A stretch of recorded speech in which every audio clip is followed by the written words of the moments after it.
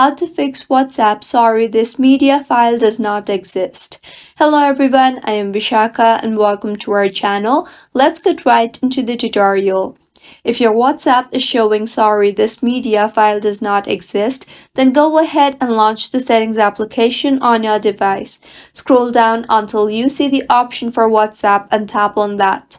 Here, make sure the toggle button for microphone and camera is toggled on. Also, tap on photos and make sure the option for full access is selected. Giving access to these features in WhatsApp is important because these are the main features required for media to run in WhatsApp.